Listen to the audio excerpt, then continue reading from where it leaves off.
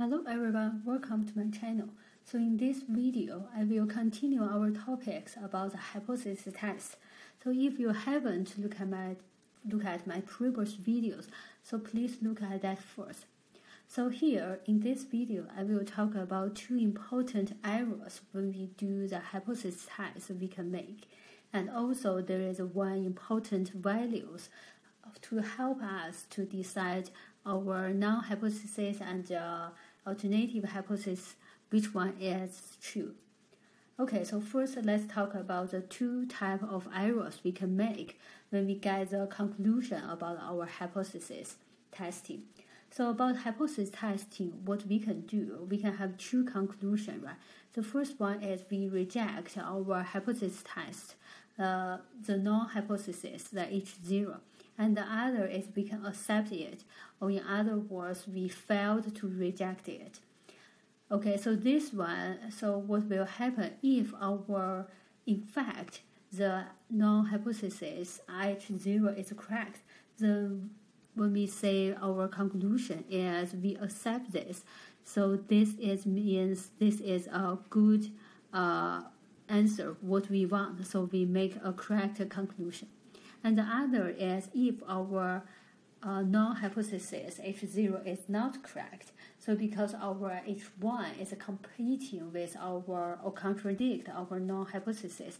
So this means if our H1 is correct, in other words, we can we should reject our H0 because it's wrong. So that means in this case, when we have H1 is true and our conclusion is reject H uh, uh, zero. So this means everything is good. However, the other two case is very uh, important error we make. So the first one is if our null hypothesis H0 is correct, however our conclusion is reject H0. So in this situation, we will make an error and we call this one as a type 1 error. And then the other type uh, error is if our H0 is wrong, we say H1 is correct, but we still accept our H0 null hypothesis. So in this case, we also make an error. So this is, we call this is type 2 error. Okay, so this is two type of the important uh, error we can make for our hypothesis uh, testing. So then when it's easy for us to make a type 1 error and type 2 error. So type 1 error is when assumption is correct but we still reject.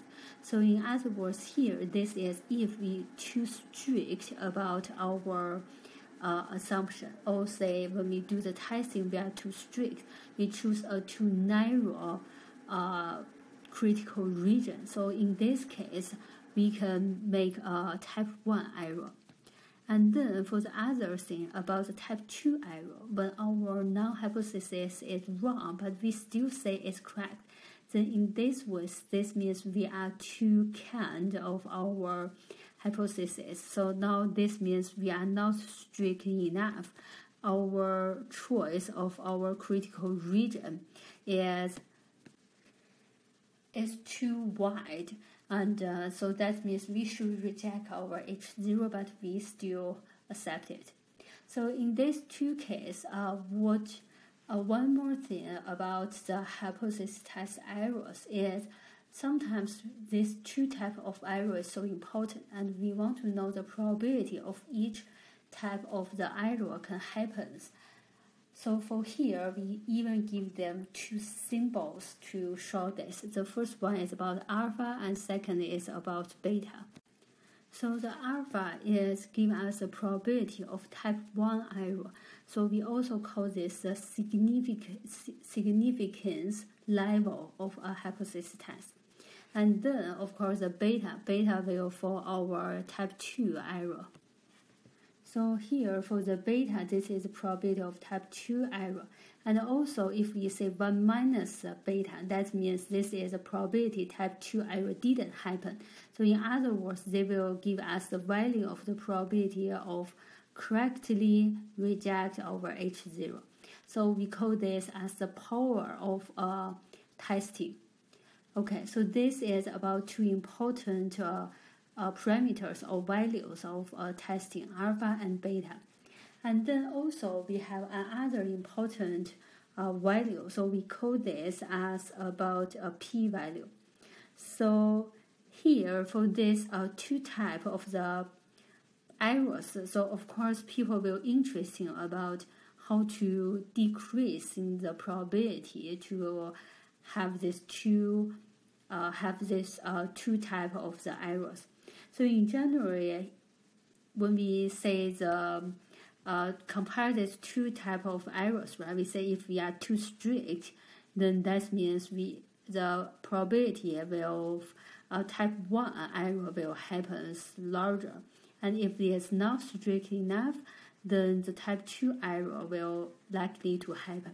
So in other words, this is really hard to change our strict level, or in other words, the critical level to in decrease in both of this uh, value, uh, this uh, alpha and beta together. So here, if you're not familiar about what is a critical level, so please look at my previous video. I explain about what is a critical level and how to use a critical level to decide it over critical region. So now we know it's really hard to change the critical value to get a to decrease in alpha and beta smaller together. So what we should do, in fact, here what we can do is we can increase in the sample size about our value n. So if we increase in the sample size n, then uh, we will get a smaller alpha and beta together. So this one actually, if if you still remember my uh, explanation about the confidence uh, interval. You should know in that topic we also say if we increasing the sample size and then we will get a better confidence intervals, a more uh, higher uh, confidence levels interval. So that means to be honest, when we do the statistics survey, in other words, when we try to draw a sample from our population, in general, it means that from the mathematical direction, we think the larger of the sample size is always better. So this actually is a consistent with our com- common sense, right?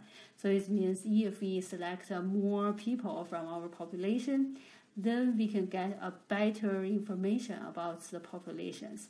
So that is good for our statistics theories. However, in fact, this is really hard because whenever we choose more or we try to select more samples, it means we need to spend more times, more uh, monies, or even more energy uh, to do the analysis of the data.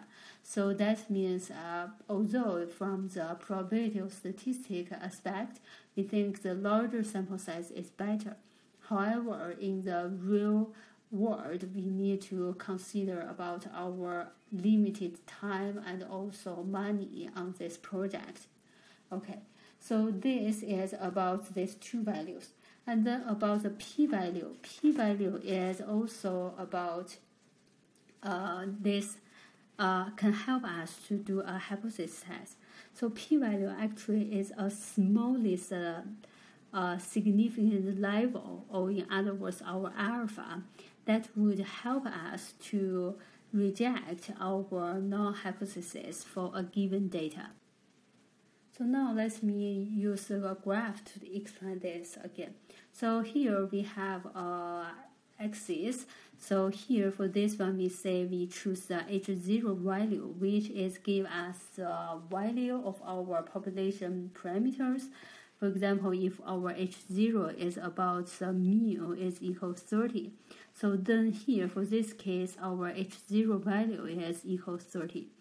And then for here, if we given a data set, so if you already look my look at my previous video, you know the test statistic for this hypo, null hypothesis is our x bar, right?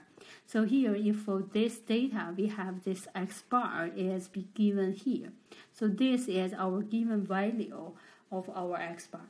and then how to reject this h, uh, this value x bar. So the method we will reject is, is we will choose our critical region is just the right endpoint is just a little smaller than this. Okay, and because our critical region is always a symmetric one, so in other words, left endpoint will be symmetric with respect to our h0 value. So now in this case, we can by the given value of our x bar and the h uh, h0 value, we can find the left endpoint and right endpoint of our critical region. And now what we know is we know the probability of 1 minus r is equal to the probability of this uh, region uh, of our x bar is inside this region, right? So that means here we call this value of alpha is as our p-value.